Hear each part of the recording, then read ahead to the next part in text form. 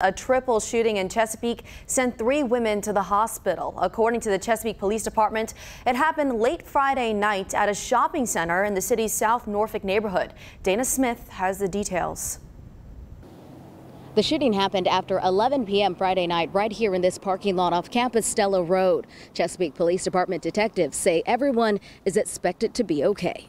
I never known nothing to happen around here like that. I never known that. I'm, I'm, I'm shocked. I'm just shocked. Three women are recovering in the hospital after a late night shooting. Chesapeake Police Department investigators say officers were called to a parking lot on Compostela Road just before 11:15 Friday night.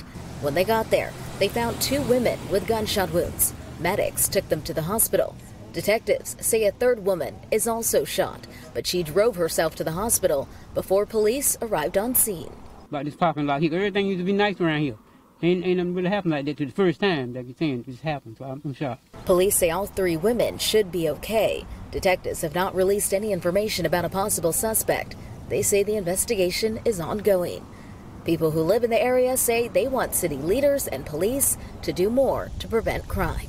We need more help around here to, to help out around here, you know, more cameras or something around here. Dana Smith, 13 News Now. Right, thank you, Dana.